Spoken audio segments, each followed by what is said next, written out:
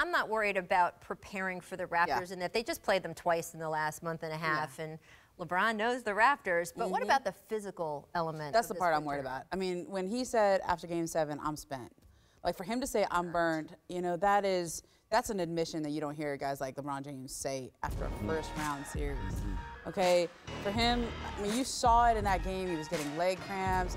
You know, he's probably he must have drank eight pounds of water, right? I mean, he was like he was hurting, and he, you know, he's trying to just steal two to three minutes a half because they need him on the floor that much. And you know, I think they were lucky to win that series. Look, if it wasn't for LeBron being that great, they would have lost the series. They were outscored by 40 mm -hmm. in the first round playoffs. series. That's like the third worst of any team in the first round of a playoff series in NBA history, yeah. right? So they can't get away with that again. And I think game one is really important because one thing they do have on the Raptors is history. Mm -hmm. They are in their heads. Mm -hmm.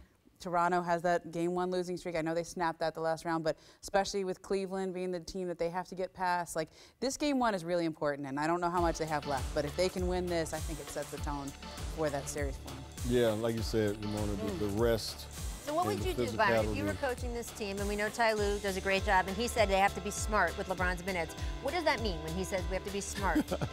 I, I, you know, I take it as that we have to oh. try to give him some time where he can rest, yeah. you know, in a game. Would you, how would you do it, though? Would you do it more heavy in the first half so he's fresher in the probably second? So. Probably so. Try to get him as much rest in the first half as possible because you're probably going to need him for 24 minutes in the second half.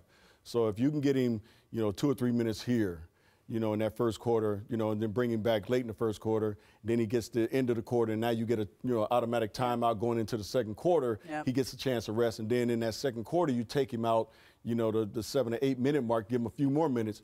I, I mean, it, he, he's got to be very strategic, strategic with the way he does it, but it's going to be hard because they, they need him on the floor. I mean, they, you, you're right. They got away with the last series you know, because he's so great. I don't think he can play that great again this series and beat this team unless somebody on the Cleveland Cavaliers shows up with him.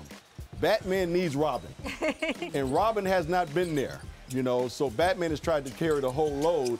And against this Toronto team, as talented as they are, and well as they play at home, and with the chip on their shoulder, like Ramona said, they, you know, Cleveland's in their head. This is their time right now to, to, to exercise all these demons, right. Mm-hmm. you know, against this team. So they got to go after this right now. Well, your point about Robin is, is, certainly apt. I mean, it would be apt against any team, but the way they beat Toronto the last couple yep. times in the regular season was by outscoring them. Right. I mean, it was an offensive right. just snowstorm, and if you don't have the offense, that's not going to yep. happen again.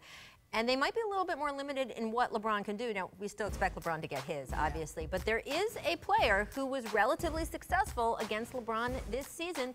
It's a rookie. OG Anunoby didn't stop LeBron. We never say that, but he did better than his teammates did. According to Second Spectrum, the Cavs' offensive efficiency, 28 points per 100 possessions, worse. That is a third worse mm. when Anunoby guarded LeBron than when anyone else took the challenge. And he especially, if you lo actually look at the plays, mm -hmm. it's stopping him on drives. Now, he's not as strong as LeBron, and the regular season is not the playoffs, but Byron, do you buy that Anunoby can at least disrupt? I don't know about. I don't know if I would use the word disrupt. I, I, think he can definitely challenge LeBron because of his height and his length and his athleticism, and he can make LeBron really work mm -hmm. on that offensive end, and that's what you want to do because he's got to he's got to exert energy on the defensive end as well. So if you make him really work on that offensive end, then it's going to tire him down some mm-hmm. point in time in that game. And this kid has the ability to do that. But we also know LeBron James. He, he sees all these stats too. Yeah. You know, he's reading all this stuff too. Yep. So we know that he's going to be even more geared up to come after OG more than anybody to prove that there isn't a guy in this league that can slow me down, stop me, or disrupt me when I want to play basketball. So I buy the fact that this kid does a really good job on the defensive end, but as far as, you know, stopping LeBron James or disrupting him, no. No, he can't do that. Yeah, he's one of the elite defenders in terms of driving in the, the NBA. Baskets, yeah. But I, I think, you know, that stat you showed, which is a nice stat, okay, but they were still scoring 109 yeah, points a game.